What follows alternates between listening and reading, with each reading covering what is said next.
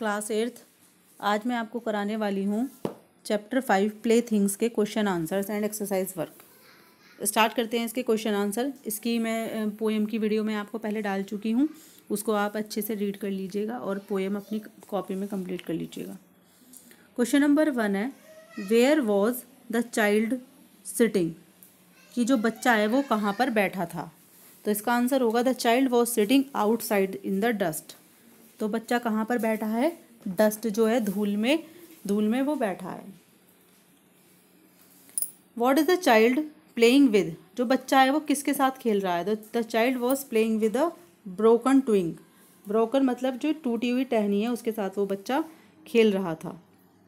Which activities was the poet busy in कौन सी गतिविधियों को या एक्टिविटीज़ को करने में जो पॉइंट है वो बिज़ी था? तो इसका आंसर हो जाएगा the poet was busy in adding up figures while doing his accounts वो किसको? अपने जो अकाउंट्स का कार्य करने में, उनको ऐड करने में फिगर्स को जोड़ने में उनको बिज़ी है। What has the poet forgotten forgotten मतलब जो पॉइट है, जो इसमें कवि है, वो क्या चीज़ भूल चुका था? है ना? भूल चुका है। The poet has forgotten the art of getting absorbed in the play of sticks and mud pies वो कह रहा है, जो पॉइट है वो प्ले करना मतलब कि getting absorbed art of getting absorbed absorbed करने की जो वो कला है, वो अब वो क्या हो चुका है मतलब कि वो भूल चुका है, ठीक है? जो पहले वो खेलता था, पहले वो भी तो वो उस कला को अब भूल गया है और play of sticks and mud pies जो लकड़ियों और मिट्टी के जो ढेले हैं, उनमें जो बनाने में वो तल्लीन रहता था, जिसे तो वो उस कला को अब क्या कर गया है? मड पाइज और स्टिक्स प्ले स्टिक्स को करने में वो भूल गया उनको उनके साथ खेलना। नेक्स्ट है what did the poet struggle to cross जो पॉइट है, उसे मतलब क्रॉस करने में क्या संघर्ष? पॉइट क्या, किस चीज़ के लिए स्ट्रगल कर रहा है है ना? तो the poet struggles to cross the sea of his desires in his weak weak के बाद ये क्या है? Canoe okay the poet struggle to cross जो पॉइट है, वो इच्छाओं रूपी समुद्र को क्रॉस करने के लिए स्ट्रगल कर रहा है इन हिज वीक कैनॉय जो उनकी जो शक्ति है, जो उसकी तीव्र इच्छा है डिज़ायर्स है, इस कारण वो अपनी उसको पूरा करने में सक्षम नहीं है। मतलब कैनॉय होती है एक लंबी, हल्की नाव, है ना? और जो उसकी नाव है, वो क्योंकि वीक है तो इस कारण वो अपनी जो इच्छाओं रूपी समुद्र है, उसको स्ट्रगल क्रॉस करने के लिए स्ट्रगल कर रहा है।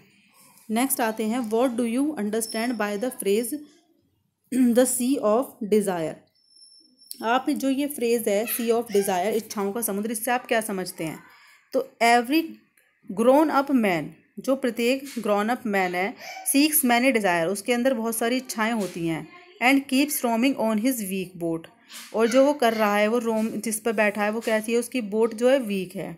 Trying to fulfil all the desires that are never ending sea और जो उसकी डिज़ायर्स हैं, वो क्या कर रहा है? ट्राइंग टू फुलफिल उन डिज़ायर्स को पूरी करने की कोशिश कर रहा है किस पर? एक वीक बोट बोट पर बैठकर।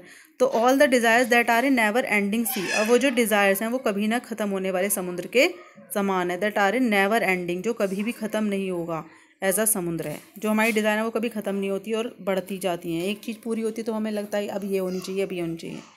Next write two rhyming words for the words given below next है, इसका जो डस्ट है वर्ड इसके दो राइमिंग वर्ड हमें लिखने हैं। तो डस्ट का हो जाएगा, एक तो रस्ट और इसका एक हो जाएगा हमारा मस्ट ठीक है?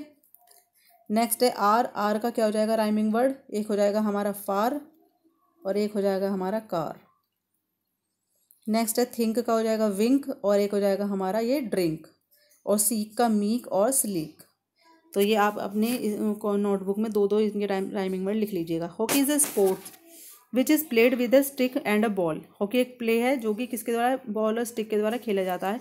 Given below are the some games right what they are played with वो किसके साथ खेले जाते हैं तो आपको ये लिखने हैं। ठीक है? हॉकी तो ये तो है ही इसका आंसर कि a stick with and a ball in next है क्रिकेट किसके साथ खेला जाता है? Cricket ball and a bat skating roller skates के साथ।